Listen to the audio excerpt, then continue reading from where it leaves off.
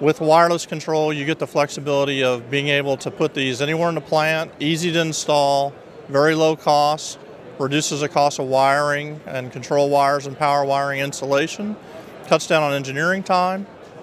In addition, we've added a lot of diagnostics, so as part of the valve operating system, you get a lot more diagnostics now as part of the package.